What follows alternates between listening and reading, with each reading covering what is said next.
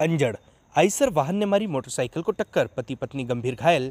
अंजड़ थाना अंतर्गत मंडवाड़ा छापरी फाटे के नज़दीक मोटरसाइकिल सवार को आइसर वाहन ने टक्कर मार दी, जिसमें पति पत्नी घायल हो गए। घायलों को 108 एंबुलेंस के माध्यम से अंजड़ लाया गया, जिन्हें अस्पताल से प्राथमिक इलाज के बाद गंभीर अवस्था को देखते हुए बड़वानी जिला अस्पताल रेफर किया गया। उपचार करने वाले डॉक्टर के अनुसार, दोनों पति पत्नी हैं और मंडवाड़ा के रहने वाले हैं पति सुपू पिता किशोर और पत्नी अनिताबाई सुपू। नाम बताया जा रहा है।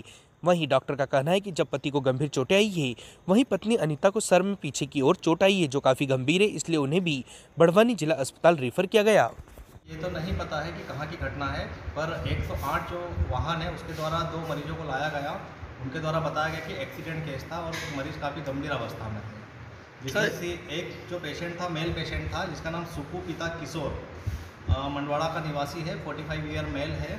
जिसे कि काफ़ी छोटे शरीर में आई थी, हम छोटे उसकी गंभीर प्रकार की थी, जिसे कि प्राथमिक उपचार देकर हमने जिला अस्पताल को रेफर किया।